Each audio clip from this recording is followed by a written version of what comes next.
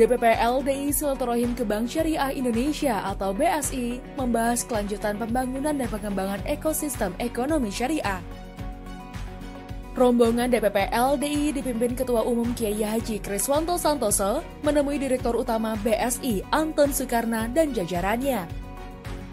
Anton dalam pertemuan itu menyampaikan pentingnya membangun ekosistem ekonomi syariah dalam pertumbuhan ekonomi yang lebih berkelanjutan.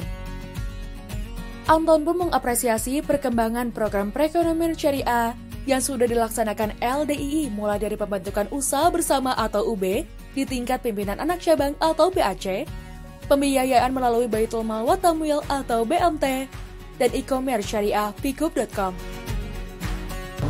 insya Allah pertumbuhan ekonominya akan jauh lebih sustain. Dan kemudian yang dilibatkan itu semua orang, yang mulai dari mungkin orang yang bisa punya usaha di situ, eh, para pekerjanya juga, mungkin juga masjidnya, ekosistem terkait keumatan, termasuk juga orang-orang yang mungkin menjadi konsumennya di situ. Sehingga kekuatan ekonomi akan terus bergerak di antara apa namanya umat eh, apa jamaahnya di situ.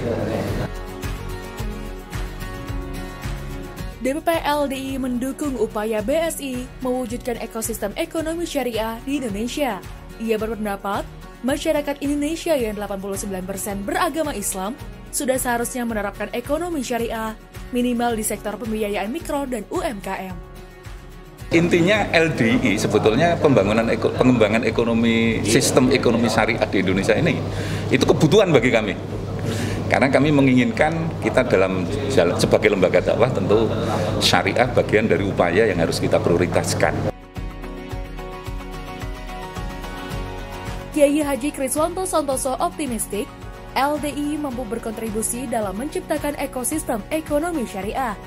Menurutnya, sejak kecil warga LDII dididik untuk menerapkan kesolehan pribadi dan kesolehan sosial.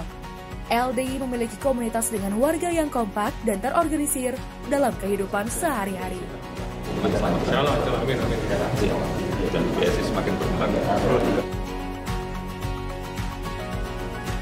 Klik like jika menyukai video ini dan subscribe untuk mendapatkan berita terbaru dari LDI TV. Alhamdulillahi jazakumullahu khairah telah menonton.